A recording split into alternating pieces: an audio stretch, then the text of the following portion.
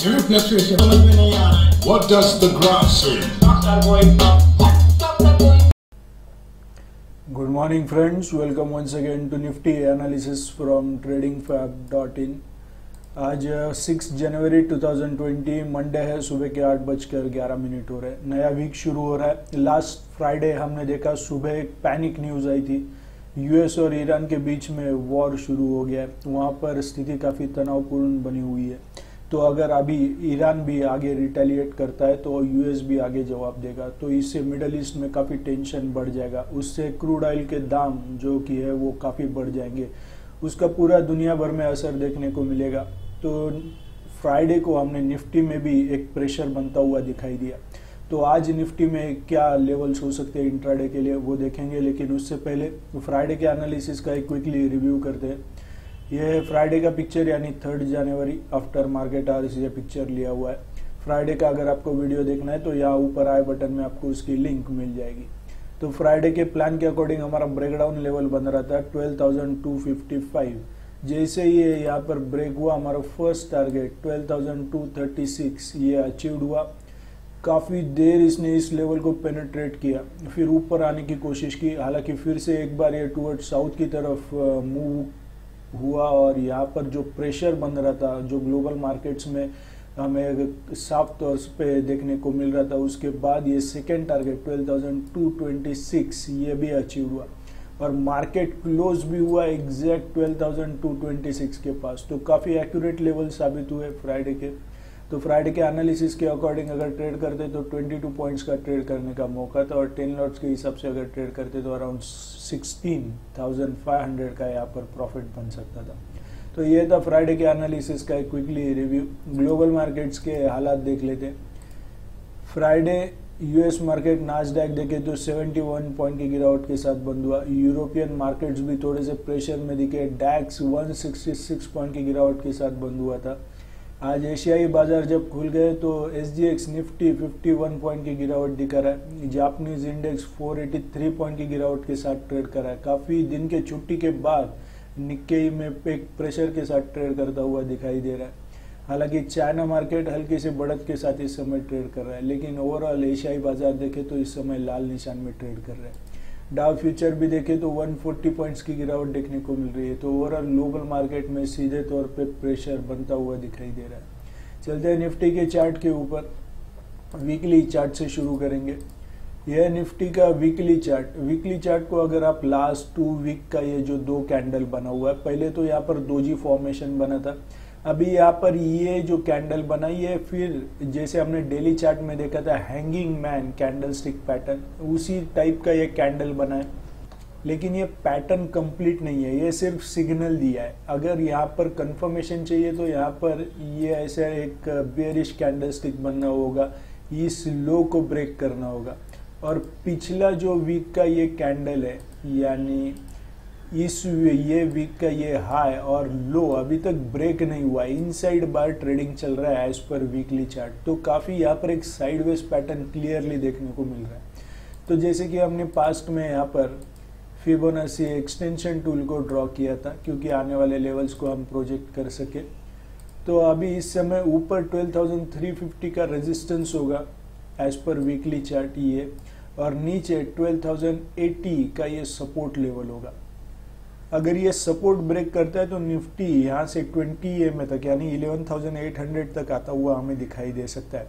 उससे पहले उससे पहले ये जो अगर इसे हम लाइन चार्ट में कन्वर्ट कर दें तो यहाँ पर जिसने पास्ट में एक रेजिस्टेंस का काम किया था यानी 11,925 के पास और अभी कुछ वीक पहले यहाँ पर एक छोटा स्विंग लो बना के ये बाउंस बैक हुआ था। तो 11,900 के पास एक सपोर्ट होगा अगर 12,080 का लेवल्स और 12,000 ये सपोर्ट जोन है एक। साइकोलॉजिकल बैरियर भी होगा 12,000 तो अगर इस लेवल को ब्रेक करते तो 11,900 नेक्स्ट सपोर्ट होगा और उसके बाद ये 20 ई का एज पर वीकली चार्ट 11,800 के पास ये सपोर्ट होगा।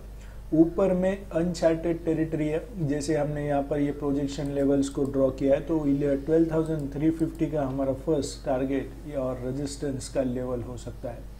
तो ये वीकली चार्ट का सीनारियो चलते हैं डेली चार्ट में।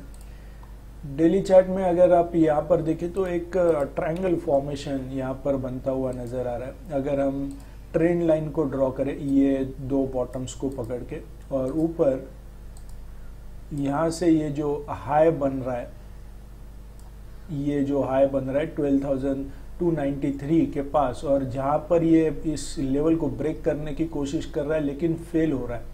तो यहाँ पर एक ट्रायंगल फॉर्मेशन देखने को मिल रहा है। अगर इस ट्रायंगल का अपर बैंड या फिर लोअर बैंड यहाँ पर अगर ब्रेक होता है तो हमें आने वाले नेक्स्ट ट्रेंड का हमें कंफर्मेशन एक आइडिया मिल सकता है। अभी फ़िलहाल एक साइडवेज जोन में ये चल रहा है। इस रेंज के बीच में ये ट्रेड कर रहा है। वीकली चार्ट में हमने क्लियरली देखा जो प्रीवियस टू कैंडल्स थे, उसका हाई और लो अभी तक ब्रेक नहीं हुआ है। तो यहाँ पर ये इस समय अपर बैंड और लोअर बैंड के अंदर ये ट्रेड हो रहा है। लाइन चार्ट में अगर कन्वर्ट कर दूँ तो यहाँ पर बुलिश पैटर्न बना था। राइजिंग बॉटम्स यहाँ पे बने थे। ये देखिए ये ऐसे लेकिन जो फ्राइडे को न्यूज़ आया था, वो काफ़ी पैनिक था। वो न्यूज़ तो उसके वजह से यहाँ पर एक हमें छोटा सा करेक्शन देखने को इस समय मिल रहा है। तो अगर इन अपर बैंड या फिर लोअर बैंड को ब्रेक करते तो हमें आने वाले ट्रेंड के बारे में एक सिग्नल एक कंफर्मेशन मिल सकता है। आरएसआई भी देखें तो अभी यहाँ पर इसने ये डबल बॉटम जैसा फॉर्मेशन बनाया था। लेकिन नेक लाइन अभी तक इसका ब्रेक नहीं हुआ है। अभी ये फिर से यहाँ से टूवर्ड साउथ की तरफ़ मूव हो रहा है। तो अगर ये यहाँ से एक्सटेंड होता है तो यहाँ पर ये डबल टॉप फॉर्मेशन बन जाएगा और फिर इसका नेक लाइन ये होगा। तो नेक लाइन अगर ब्रेक करता है, ऊपर की तरफ़ ये डबल बॉटम का होगा और अगर ये फॉर्मेशन डबल टॉप का हो जाता है तो इसका नेक लाइन यहाँ पर बनेगा। तो नेक लाइन ब्रेक होने के बाद ही हमें आने वाले ट्रेंड का यहाँ पर कंफर्मेशन मिल सकता है। एज पर ये जो सपोर्टिंग इंडिकेटर है आरएसआई इस समय अभी ये अनकम्प्लीट पैटर्न में है। पैटर्न कंप्लीट होगा जब ये नेक लाइन को ब्रेक करेगा तब। तो ऊपर भी अपर बैंड और लोअर बैंड का सपोर्ट और रेजिस्टेंस बना हुआ है। इसका ब्रेकआउट या फिर ब्रेकडाउन मिलने के बाद ही हम आने वाले ट्रेंड को कंफर्म कर सकते हैं। तो चलते 60 मिनट के चार्ट में। आज के लिए इंट्राडे लेवल्स को आइडेंटिफाई करेंगे। तो निफ्टी इंडेक्स अगर आज टूवर्ड साउथ की तरफ़ मूव करता है तो ये जो प्रीवियस फ्राइडे का ये जो लो है, इसके नीचे एस वन का ये पिवट पॉइंट का लेवल आ रहा है। फिर 100 ईएमए का ये ग्रे लाइन यहाँ पर आ रहा है। ट्रेंड लाइन जैसे कि हमने यहाँ पर ड्रॉ किया था।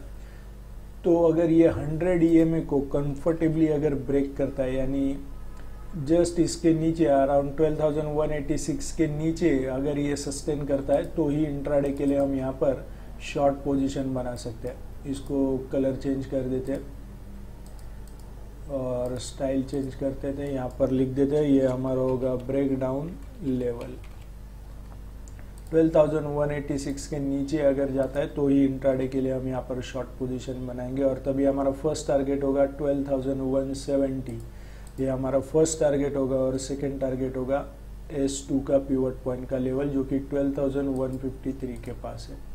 और अगर टूवर्ड्स ये नॉर्थ की तरफ़ अगर ये बढ़ता है तो ये जो बुलिश कैंडल स्टिक है ये जो बुलिश कैंडल स्टिक है अगर इसे मैं लाइन चार्ट में कन्वर्ट कर दूँ तो यहाँ पर आप देख सकते हैं ये एक ये एक ये दो और अभी ये थर्ड अटेम्प्ट है। यहाँ पर इसने पास में दो बार स्विंग हाइज बनाए लेकिन फेल हुआ है और टूवर्ड साउथ की तरफ़ ये मूव हुआ है। तो यहाँ पर अगर ये इस लेवल के ऊपर यानी 12,240 के ऊपर अगर सस्टेन करता है तो ही इंट्राडे के लिए हम यहाँ पर बाय पोजीशन बना सकते हैं।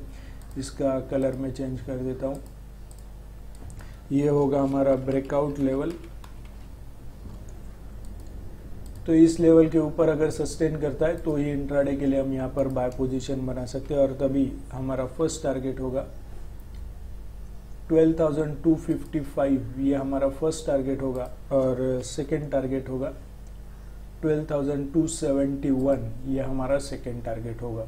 तो ये है निफ्टी के लिए आज के लिए इंट्राडे लेवल्स अगर आपको ये वीडियो एनालिसिस अच्छा लगा हो तो please hit the like button share करें सब्सक्राइब करें। आपके दोस्तों के साथ इसी यूट्यूब चैनल को ज़रूर शेयर कीजिए और सब्सक्राइब करना ना भूलें। So thank you very much and happy trading